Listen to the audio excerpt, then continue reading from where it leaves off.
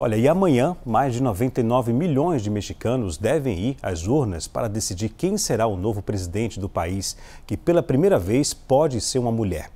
Entre os principais candidatos estão a ex-prefeita Cláudia Sheinbaum, candidata da situação, e a ex-senadora da Cidade do México, Xochitl Galvez.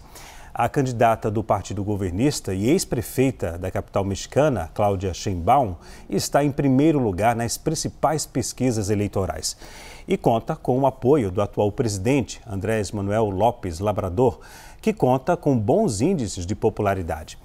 Enquanto isso, a ex-senadora Souto Galvez é apontada como o segundo nome nas pesquisas para eleições presidenciais. A candidata faz parte de uma coalizão de partidos de oposição ao atual governo. A campanha de Galvez promete restaurar a segurança no México local, onde 30 mil pessoas são assassinadas todos os anos e grupos criminosos exercem grande influência. Segundo pesquisas, a candidata está 20 pontos atrás de Cláudia Sheinbaum.